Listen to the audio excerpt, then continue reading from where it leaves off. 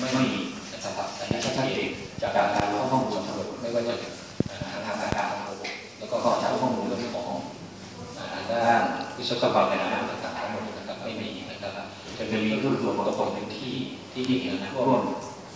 จนมากในหลายพื้นที่นะครับซึ่งเป็นปัญหาการระบาย ซึ่งทางรัฐบาลก็เร่งระบายที่สุดไม่ว่าจะเรื่องของการความช่วยนะครับ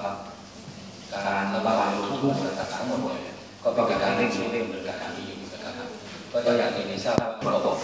ทั่วประเทศเนื่องจากเราเราประกาศภาพป่าเราเราโลงจากต่างๆภาพที่เห็นบนหน้าจอนะครับภาพที่อากาศที่วิดีโอแอลรอบๆกับอากาศนะครับภาพป่าอะไรอายุจะดีไหมแล้วก็ฝนที่ตกกรุงเทพปัจจุบันเนี่ยขอให้เกิดยังไงนะครับเชิญชม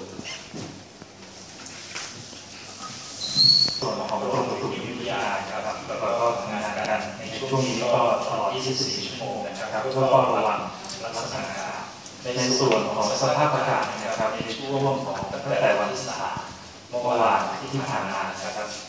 เราตรวจพบว่ามีฝนตกเป็นบริเวณบ้างบริเวณด้านภาคกลางตอนล่างภาคตะวันออกนะครับรวมถึงภาคใต้ตอนบนซึ่งอิทธิพลนะครับก็เป็นสาเหตุมาจากแนวร่องมรสุมหรือว่าร่องฝนที่ชาวบ้านจะมีก็เลื่อนมาพาดผ่านบริเวณต่างๆนะครับแต่ปริมาณฝนที่ตรวจวัดได้ก็มีหลายที่ที่มีปริมาณสูง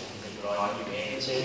บริเวณจังหวัดสระแก้วนะครับ แต่จากการที่เคราะห์ดูแล้วเนี่ยคือฝนตกมากก็จริงแต่จะไม่ค่อยเทียวตกนะครับชั่วโมงก็ประมาณสิบถึง20